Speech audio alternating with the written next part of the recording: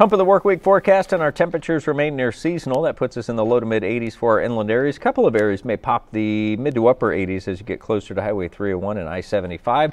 Same story for southeast Georgia. Summer like temperatures are back tomorrow, and that's a trend that will continue through Saturday.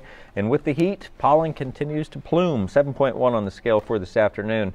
Day by day, increasing the chance for showers. We're not looking at widespread. It's going to continue at roughly about a 20 to a 30 percent chance. So, with the seasonal temperatures giving way, it'll still be the seasonal offering for the showers, but they'll be fueled by what will be some of that summertime heat. We'll make our way through portions of late Friday, and I'm gambling on the later models here for that return of some showers. Wake up to those on Saturday and a continuation here into the weekend. Temperatures warm up to the end of the work week, and then behind the cold front, as we get ready for the clouds and the showers, we'll see a brief return to the 70s before the summer heat waits for us early next week. Weather Authority forecast always just a click away at News4JAX, a shout away on your favorite devices. Have a great Wednesday.